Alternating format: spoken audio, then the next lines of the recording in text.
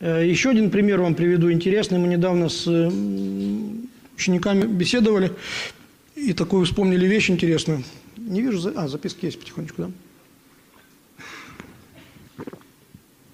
В Индии был такой обычай, э, когда умирал мужчина, муж, молод, там, неважно, молодой, не молодой, значит, умирал муж, то женщина, его жена, могла добровольно, э, когда мужчину сжигали, тело усопшего мужчины сжигали, то жена могла добровольно взойти на костер и вместе с ним э, перетерпеть самосожжение, чтобы в будущей жизни быть вместе с ним, так они считают. Этот обычай был, э, конечно, в силу своей специфичности и страшности, он не был распространен повсеместно, но он существовал долгие-долгие столетия. Иногда молодую женщину там, или не молодую женщину подталкивали к этому родственники умершего мужа, там, свекровь там, или там кто-нибудь еще. Иногда они сами добровольно заходили на костер и отдавали душу э, в, в огне вместе с покойным мужем.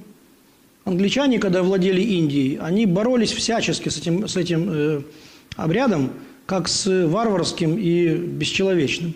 Мы бы точно так же к этому относились, мы бы, наверное, считали, что какой-то кошмар какой-то. Что это такое вообще? Это какой-то ну, средневековье, какой-то ужас какой-то, да? И вот Николай Сербский, святой Николай Сербский в одной из своих книжек пишет, что в одном из сел умер мужчина, и молодая женщина добровольно, без насилия, хотела зайти на костер и умереть вместе с ним – ее мать, старуха, поддерживала ее в этом. Говорила, давай, дочка, давай, иди к нему и будь с ним, ты его жена, а что тебе здесь делать? Приехал э, отряд английский во главе с офицером полицейских, там солдат, ну и начали их там ругать, говорит, вы сумасшедшие, вы звери, вы, вы не люди, вы какие-то варвары, вы просто, вы просто какие-то отребья рода человеческого. Как вы можете такое делать? Она еще молодая, она то, она все. И вдруг эта старая индуска говорит ему – мы не, развра... мы, мы не варвары, мы не звери. Просто вы, европейцы, не знаете, что такое вечная любовь. То есть вы развратники и безбожники. И после смерти вашей подруги вы женитесь на следующий месяц. А мы так не можем. Мы любим навсегда. И оказывается, то, что нам кажется варварством – может оказаться на самом деле высочайшим каким-то таким примером настоящей любви.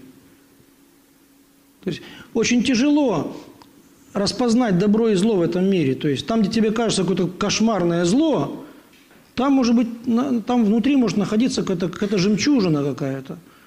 Может, ничего себе. А там может быть настоящая ценность какая-то сохраняться. А там, где тебе говорят, ну это добро, это хорошо, это правильно, а там все гнилое, вонючее и развратное. Вполне возможно и так. По крайней мере, меня эти слова очень сильно поразили.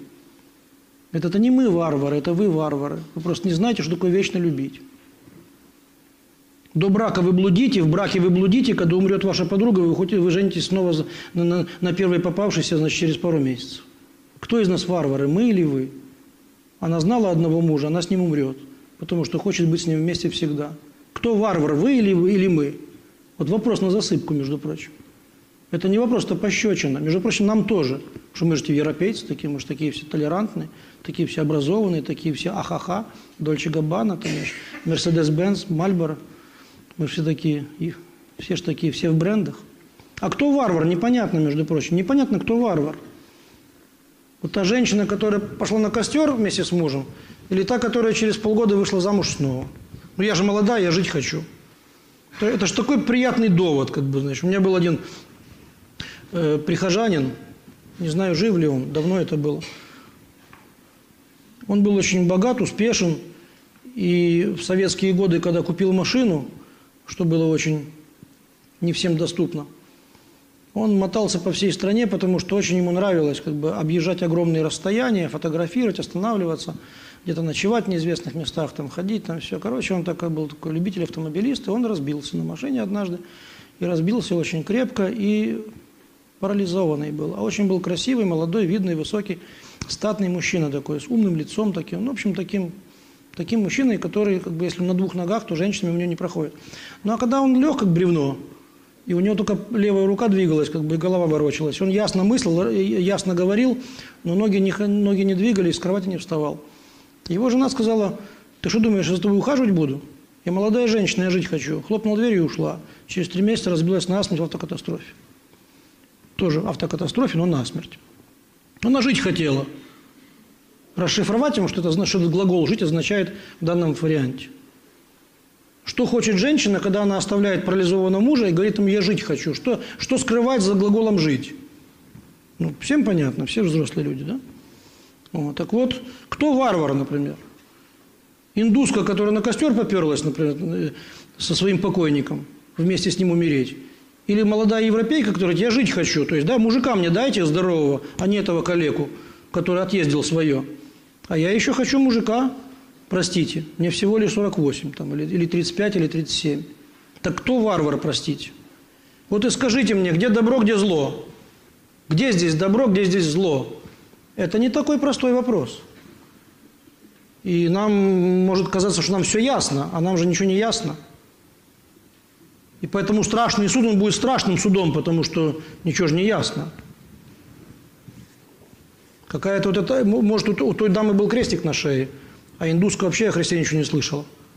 А там, глядишь, на страшном суде все будет по-другому. Мы же не знаем, как там будет. Это же не мы будем судить, это же нас будут судить.